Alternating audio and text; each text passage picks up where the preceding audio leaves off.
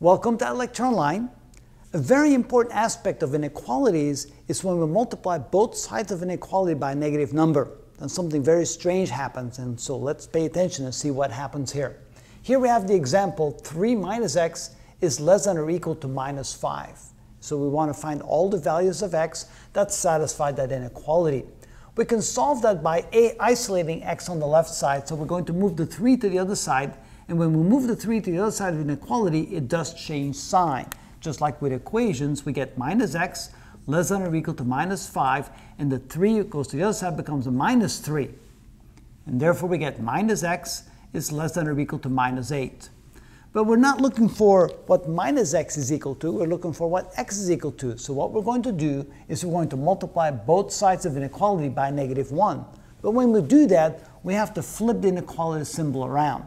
So, so what we're going to do then is multiply both sides by negative 1, so negative 1 times negative x, and negative 8 times negative 1. So we multiply both sides of the inequality by negative 1. But when we do that, we must flip the inequality symbol. So now becomes greater than or equal to. So now we continue.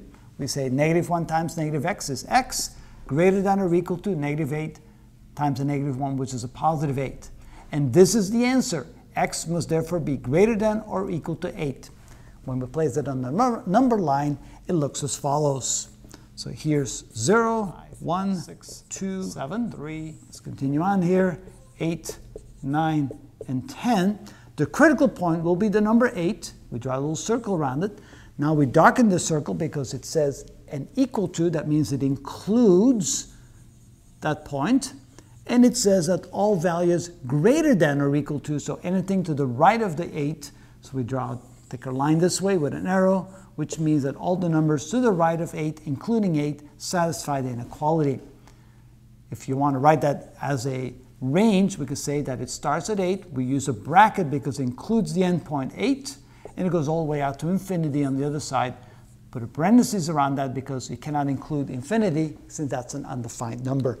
And that's how indicate the solution to this inequality right here. But again, the important thing is if you want to turn this into a positive by multiplying this by negative 1, of course you have to do the same side, same thing to both sides, then you must flip the inequality symbol around. And so be careful when you do that, to, otherwise you won't get the right answer. That's how it's done.